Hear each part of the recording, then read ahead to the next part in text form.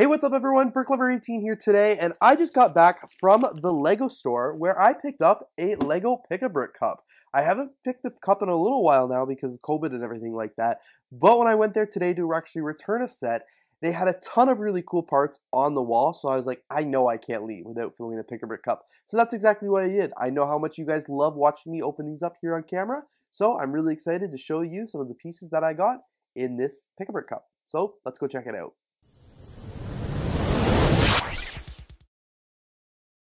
Alright, so I've got the Pick-a-Brick cup here. There is actually a pretty decent variety of parts included in this cup. Like I was just filling things off the wall. Um, there wasn't necessarily like a, a purpose or anything in mind. I just wanted some cool parts. So let's dump it out. trying to do it slowly so the parts don't go absolutely everywhere. Um, but very cool here. Oh, there's some pieces that got in. And you'll notice the lid, the lid and the cup are actually two different colors. It's like this lid is a little bit yellowed. But um, other than that, I'll set that to the side. You're not here to hear me rant about the cup. But as you can see, these are some of the pieces um, that I got inside this Pick-a-Brick cup. There's some pretty cool ones in here, of course, and I'll show you them in a bit more detail.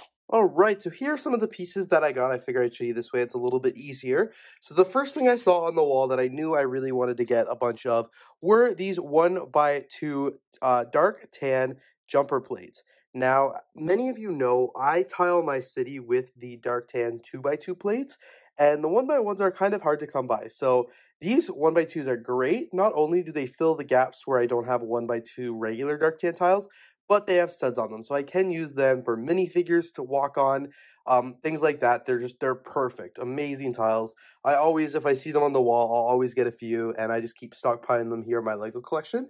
I picked up a bunch of these. I believe they're called Palisade bricks, um, but I do really like them here. They're one by ones with this out, this insert, this pulley on the side.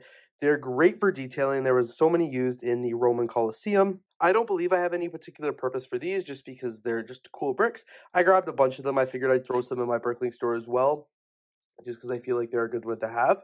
This one I wasn't really expecting to see on the Pick-a-Brick wall. As you can see, it is the Cobweb, which is really cool. I've got a few of these in certain sets, but I have never seen them on the wall before, so I stocked up on a bunch of those. I'm going to keep a few, and again, probably just list like 10 or so in my Bricklink store, um, so other people can get a chance to grab them. I left a bunch that were still there. Uh, they're really awkward parts to kind of fit in the cup, so I just kind of stacked them together like you saw and try to combine other parts in between them. So I'll move those to the side. As you can see, as some filler bricks, I grabbed a bunch of these one by one bricks with the stud on the side they're always helpful. I always use them, and they normally go under things, so no matter what color it is, they're perfect. Um, continued so many of these, obviously, right here. I really just filled my cup up. I grabbed a bunch of these one by one flower pieces in the um, the azure, light azure color, I think it's called. Again, always getting flowers for my Lego City, so I figured might as well grab a handful of these when they see them. These I thought were pretty interesting to have on the wall. These are the uh, one these are the 2 by 8 uh, slider plates, I call them. I've used these in a couple of buildings.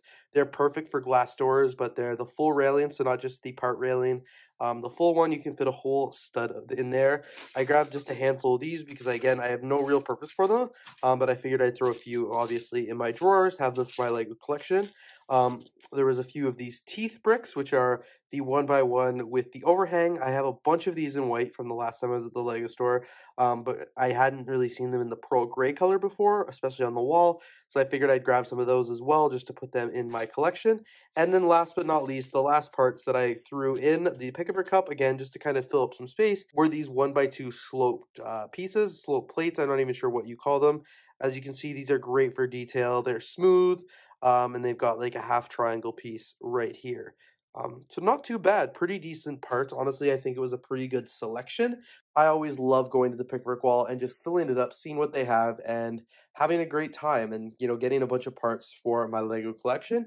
As you can see down here, I've been to several Pick-a-Brick walls in my lifetime. So thank you guys so much for checking out this video. I really hope you enjoyed. Let me know down in the comments below if you've been to a Pick-a-Brick store recently and if you found any really cool parts or anything like that.